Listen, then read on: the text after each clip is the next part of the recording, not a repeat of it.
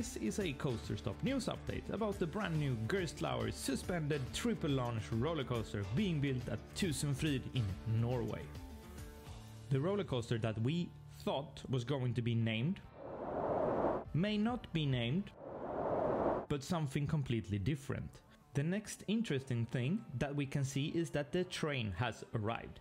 It is always an amazing feeling to see a train installed for the first time, and here it is, hanging, just waiting for us to go for a spin in 2023. During winter, if the weather permits, there will be work done on the launch system or LSMs and other technical work by Gerstlauer. When will there be test runs? There will most likely not be any test runs of the